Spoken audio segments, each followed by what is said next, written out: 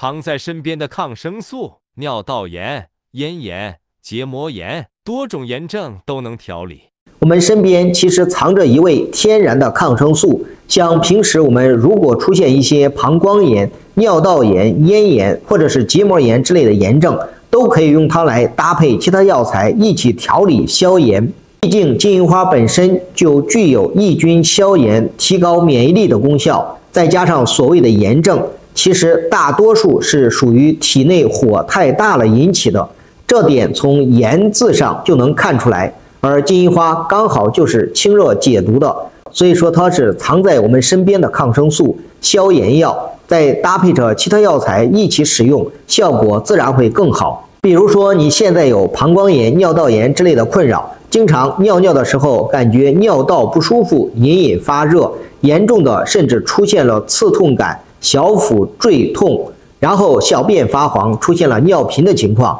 老是有尿意，想往厕所跑，但偏偏尿出来只有一点儿，那就可以用金银花搭配着海金沙以及白茅根儿一起煮水喝，消炎的同时利尿。又或者你现在是嗓子不舒服，有咽炎，嗓子眼里总是发干发痒，想咳嗽，但咳嗽的多了，嗓子眼里又肿痛难受。甚至是咽口水都疼得不行，说话声音嘶哑，甚至压根儿说不出话来。这时候就可以参考金银花搭配麦门冬以及菊花来煮水喝，消炎润喉止咳。